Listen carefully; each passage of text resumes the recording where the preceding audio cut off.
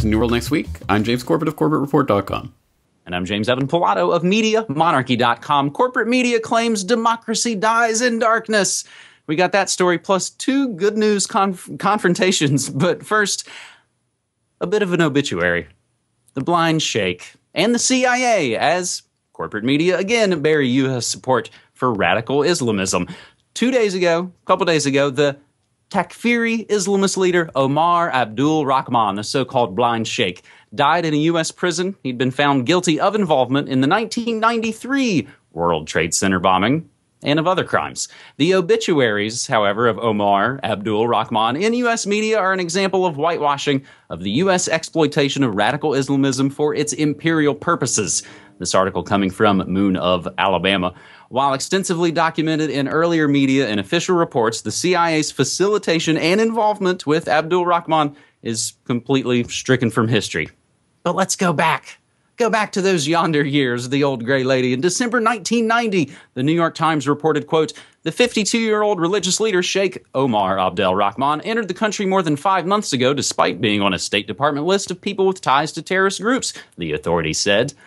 He illegally obtained a tourist visa from a consul in the United States Embassy in Khartoum, Sudan, in May, according to records of the Federal Immigration and Naturalization Service and State Department officials, end quote. A few years later, in July 1993, the New York Times reported that that illegally obtained tourist visa was not illegal at all, saying, quote, American officials had acknowledged last week that the diplomat at the United States Embassy in Khartoum who signed the May 1990 visa request that allowed Mr. Abdel Rahman to enter the United States was in fact a CIA officer. Several attempts to remove Abdel Rahman from the U.S. mysteriously failed, and in 1991 he was inexplicably granted a green card despite still being blacklisted. James, this kind of goes back to, I think, probably a lot of us as the web was hitting everywhere and we all started to have a lot of questions. World Trade Center 93 was a part of the you know, part of the investigations is we were looking at 9-11, we were looking at JFK and we were looking at the banks and we were looking at all of that stuff. This is one of those kind of fundamental, fundamental stories that's playing out right now, just as everybody wants to talk about the deep state, deep state, deep state. Yeah, but for some reason, they don't want to talk about this aspect of the deep state. Oh. And yeah, as that article from Moon of Alabama notes, none of their obituaries, none of the things that have been written about the blind sheikh in the last couple days notes this on the record, documented, New York Times approved, establishment approved history of the blind sheikh. He was let in on purpose by the CIA and protected in the United States, despite numerous attempts to get him out.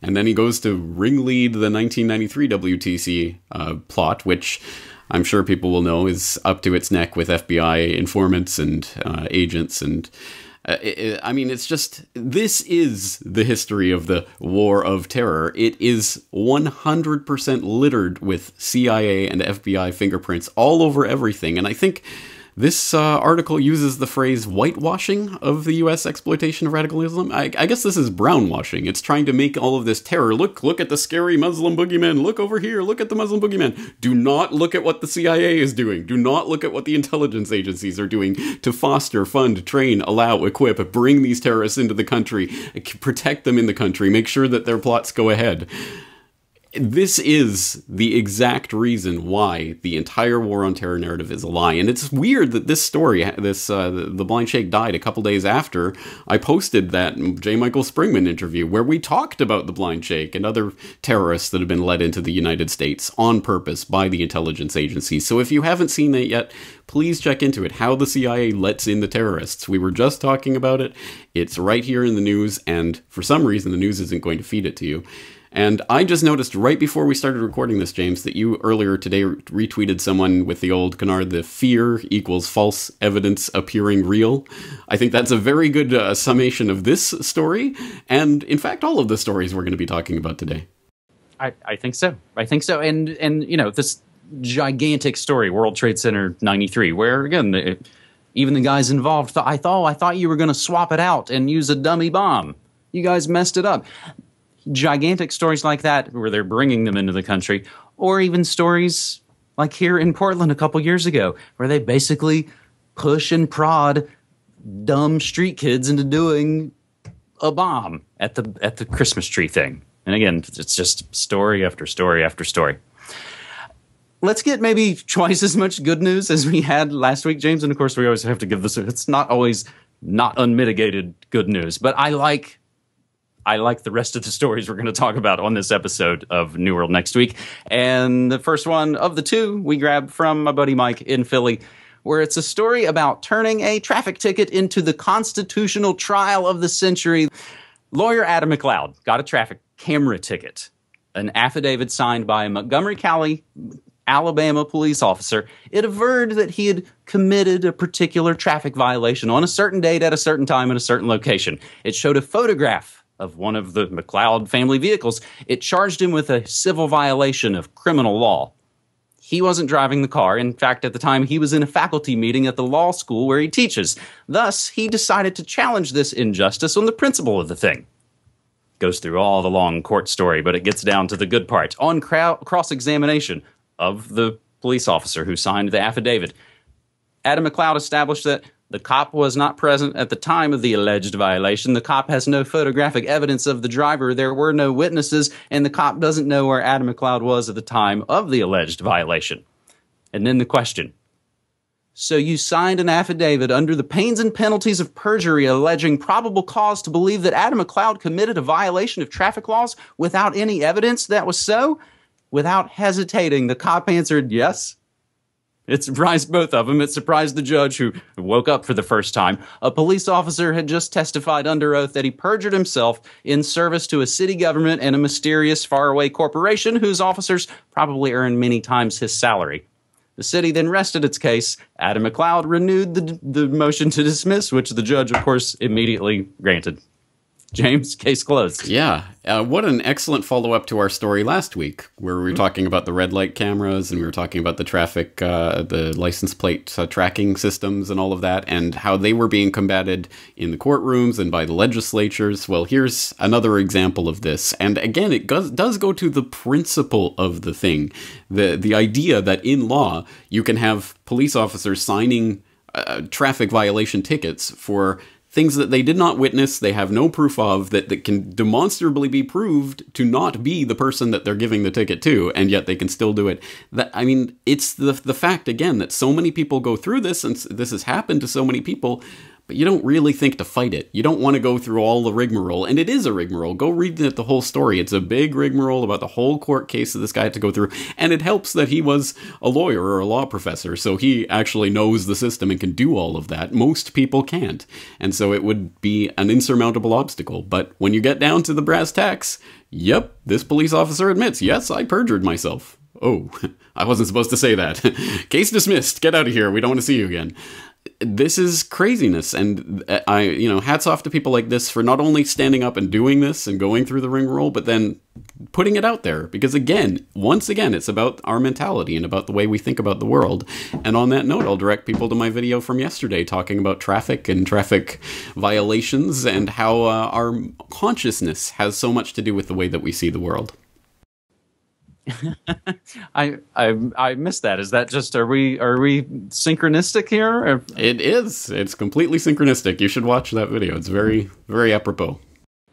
Well, we'll include that, of course, in the show notes as well. So I wish there were.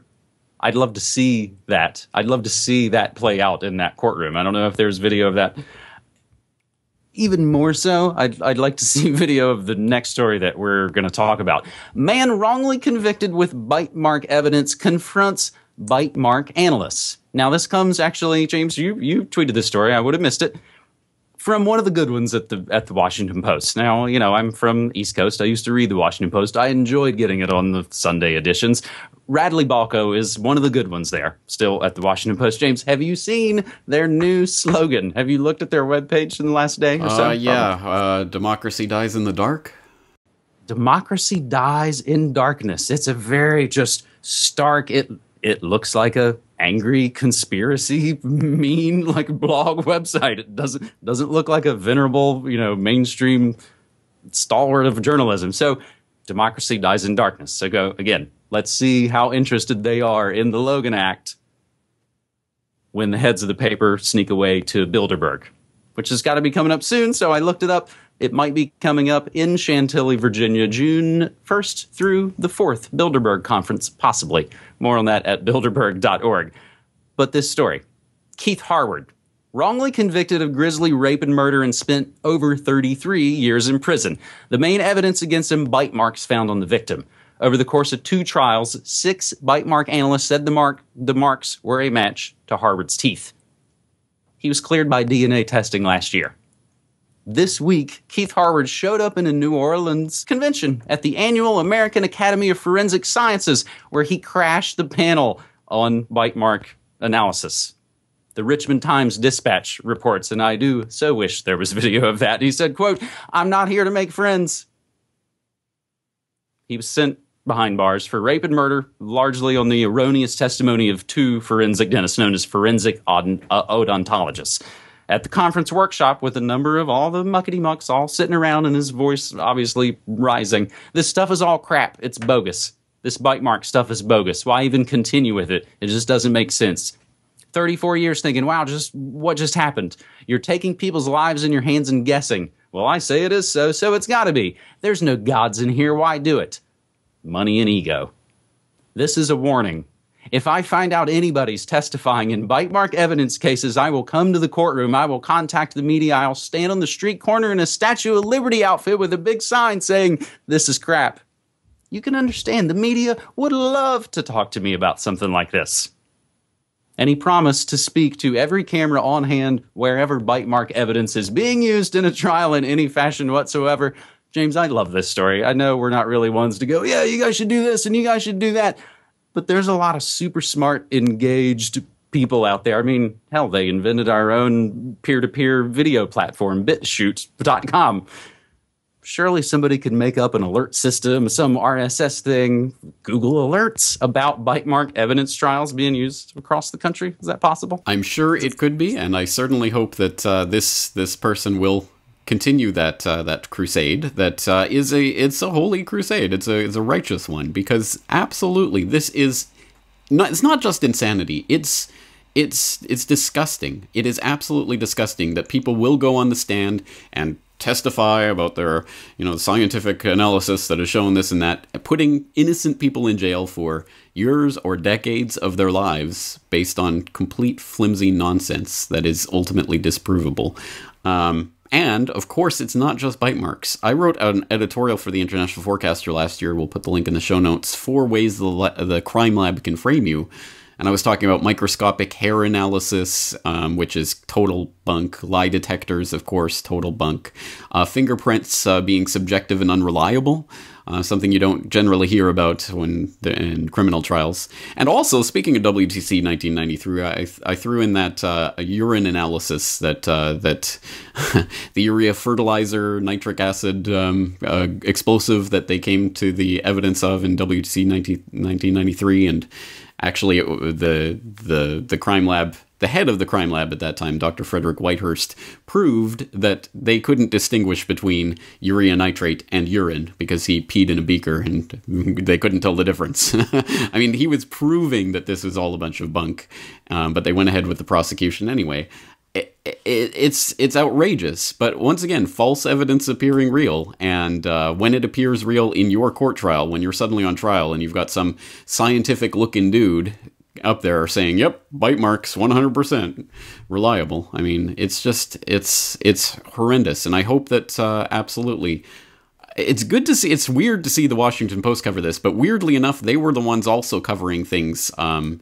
like the, uh, the, the, the the microscopic hair analysis. The the Washington Post was the one that was on top of that story, and the the the crime lab um, whistleblower Frederick Whitehurst got coverage in the Washington Post. So for whatever reason, they've been all over this for many years, and it's good to see there are at least some people who, with some shred of integrity left at that Bezos-owned CIA operative nonsense Bilderberg piece of crap journalistic nonsense that is the Washington Post these days.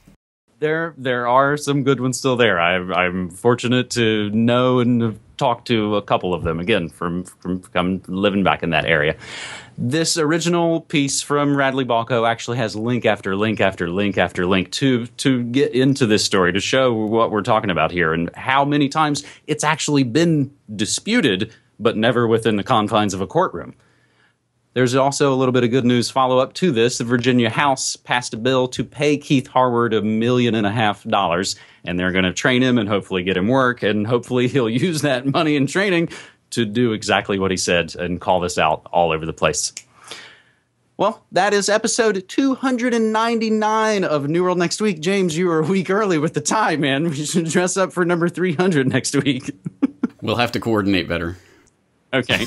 Well, I want to thank everybody for all their well wishes for last week and for, of course, continuing to support our independent, non commercial alternative media via patreon.com slash media monarchy or slash Corbett Report or any other way that people are able to.